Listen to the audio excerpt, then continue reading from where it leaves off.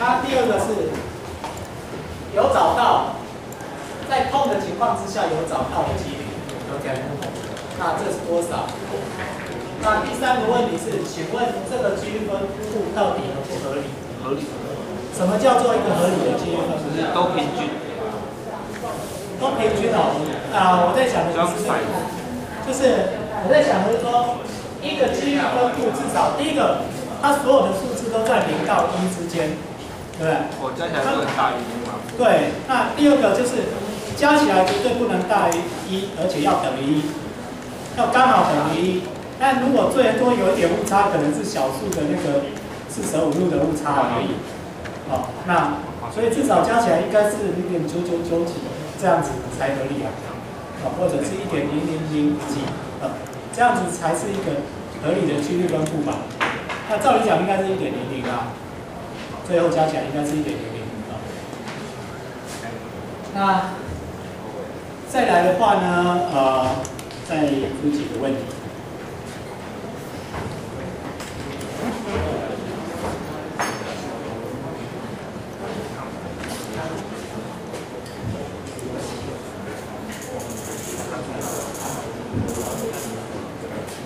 这里是用找到或找不到，那我这边 P of 呃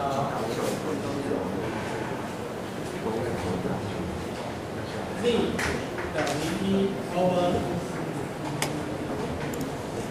S 等于一多少？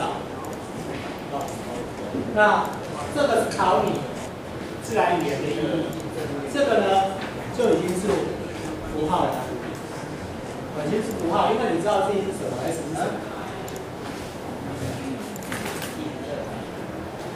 看得出来吧？呃，z 等于一是于一，它是多少？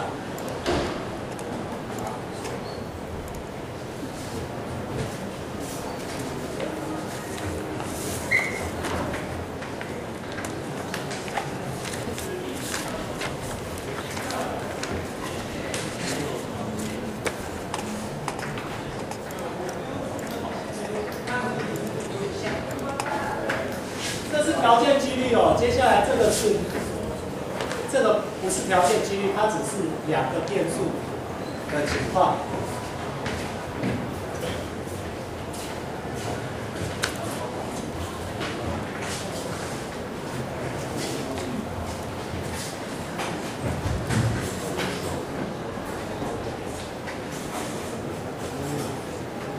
好，那对于条件几率而言，你应该回到它的定义去计算。那对于这种只有两个变数，因为我们的东西是三个变数，所以你要把另外一个变数的所有可能情况加起来。那我算一个给各位看，我直接算一个，每个各位回去通通算出来，那不知道它是什么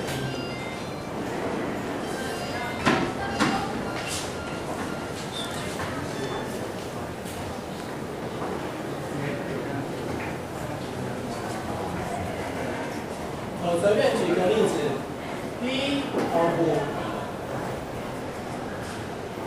没找到的机会，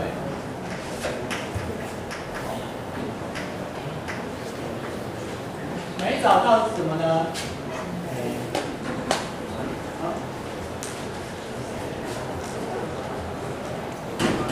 没找到的机会就是 p of 这里找的地方是零的。找的地方是零的，就是没找到，所以就是 b of Z 等于零。那这等于什么呢？等于 Z 等于零，那就是零点五七六加上零点零六四加上零点零零八。加上。零点零一二，好，那为什么是这样呢？诶，应该说这个是五七六是六，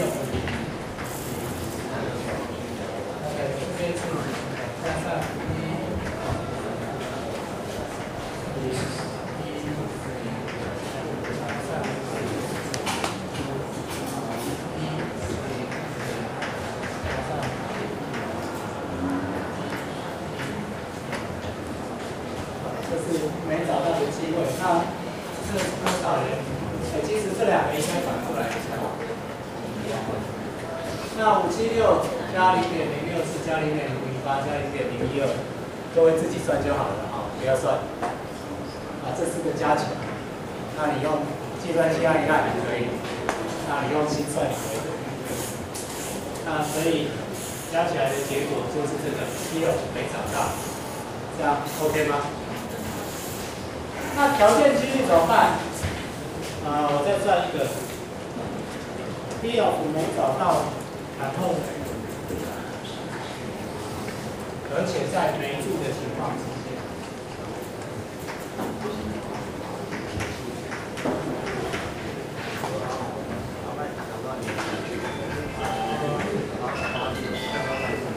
好，第二步没找到，我们没住呢，没找到什么？没找到是，没找到是 B，然后没住呢，没住是 S 等于，那就是 P 有辅 G 等于零，那么 S 等于零是多少？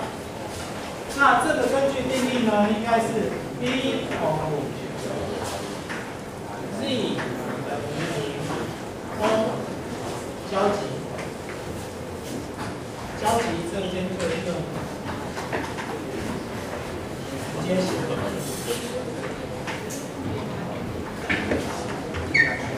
这个条件几率应该是这样写的哦，B 五 Z 等于 S 等于零，over S 等于零。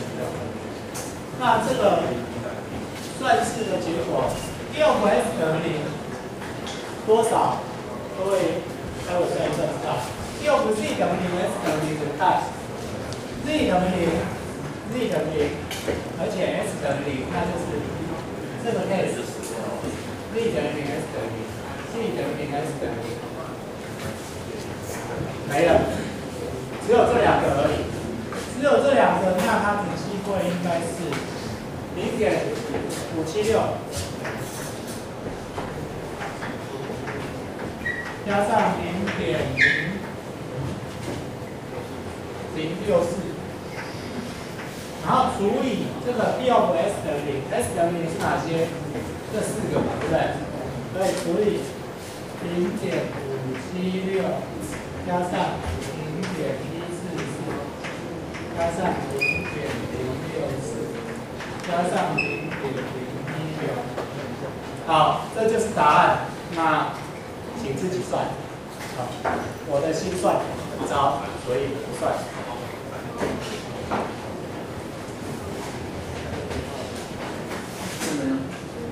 好，所以这个是 P 六五没找到，over 没住，就这样算了，OK 吗？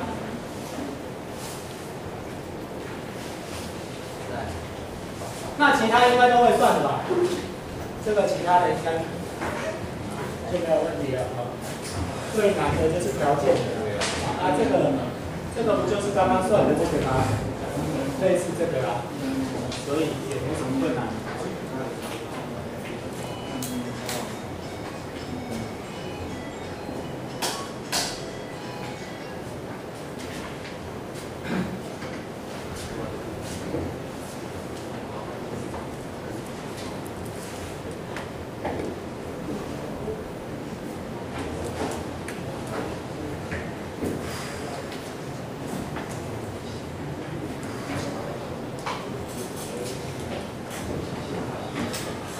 好，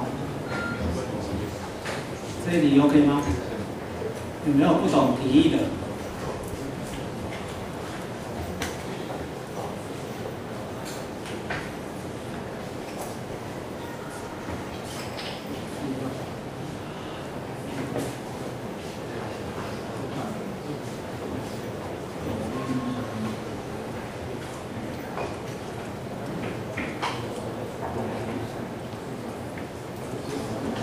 接下来再一笔证明。好，停不下了。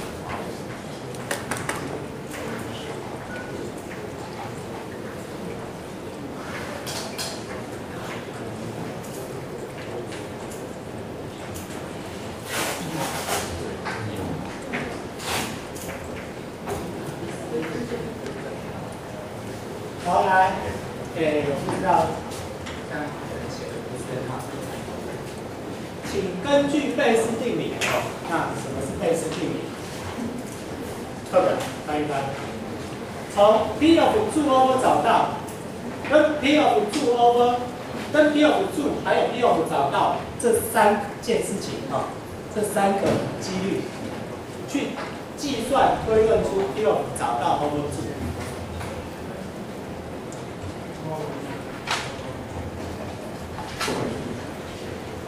根据贝氏定理，这两件事情是可以可以互算的。只要你知道这三个，你一定可以知道计算这个，因为贝氏定理告诉你。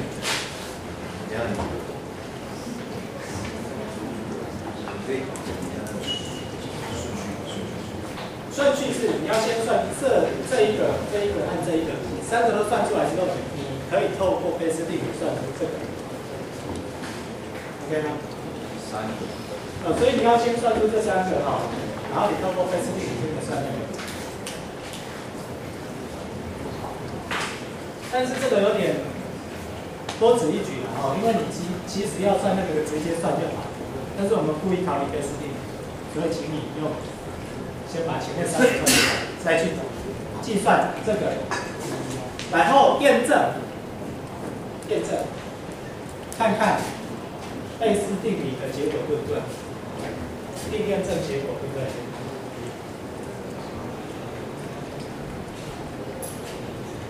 计算，然后跟你直接计算这个比较，看看两个结果符合。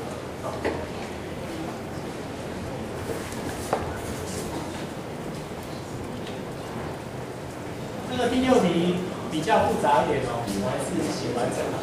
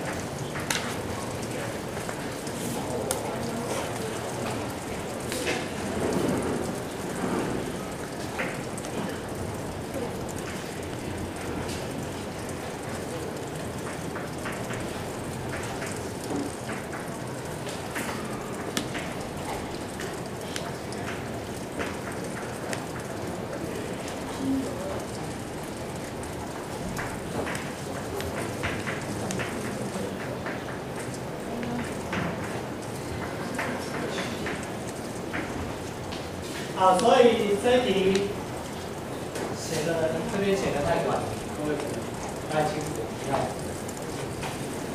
要各位做。第六题，请计算 P of 2 over 找到 P of 2 P of 找到 P of 找到 over 2，然后验证类似定理 D 我们找到 over 2等于第二辅助 over 找到这里 D over 找到除以 D over 2，是不是成立？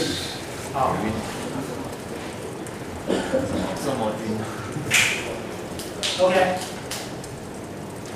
所以老师你自己不用说修改。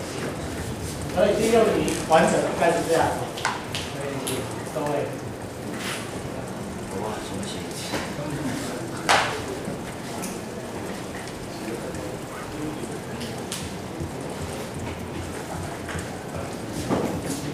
好，今天的课上到这里，各位可以开始写这个习题，马上写，文明张卫。